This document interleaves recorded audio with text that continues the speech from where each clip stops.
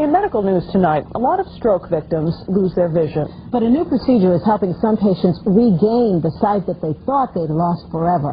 Seven's on call with Dr. Jay Adlersberg. Senator Diana, a stroke happens when blood flow is blocked as it goes to an area of the brain. Nerve cells die and some are partially damaged. When the brain's vision center is struck, patients become blind in that area where the dead cells lie. Now doctors are trying to revive nearby cells to take over.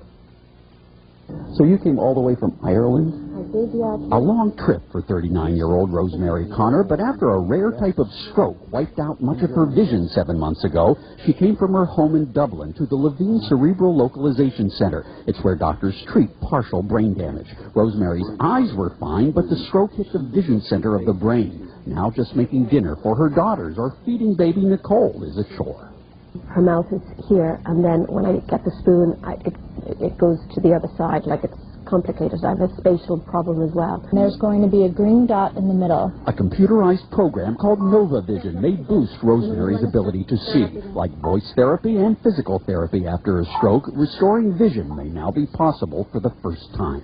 The good thing about this therapy is that uh, it's applicable to people who have had stroke of any sort and also to people with traumatic brain injury. Even to stroke patients treated months after the original damage. The whole method is based on the idea that partially damaged nerve cells around the stroke area can adapt and take over visual function. The computer is what stimulates those nerve cells. The computer analyzes Rosemary's vision. She can see the white squares well, the gray squares less, the black ones not at all. Now the stimulus is pretty much only coming in areas where you have difficulty. Bright dots then try to recruit slightly damaged cells to take the place of the dead ones. Even a 20% improvement would restore Rosemary's world. Just want to be there and being able to get my independence back. That has take, been taken away from me, and um, I want to get that back. Early studies of 500 stroke patients found that 65% improved their vision using the computer.